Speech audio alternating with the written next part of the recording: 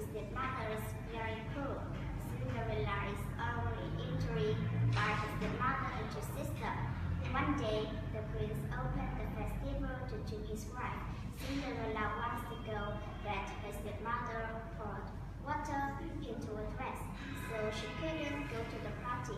She is so sad that the angel appeared to help her.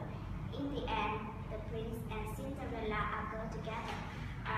I very like this story because it's meaningful and help me not tired after difficult lessons. Thank you for your listening. Goodbye. Very good. How many times have you watched Cinderella? Daisy? I watched Cinderella mm, one hour. One hour. One hour. Yeah. How often do you watch Cinderella?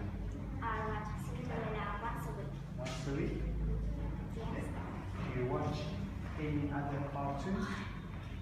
Um, no, because I very like Cinderella. Only watch Cinderella?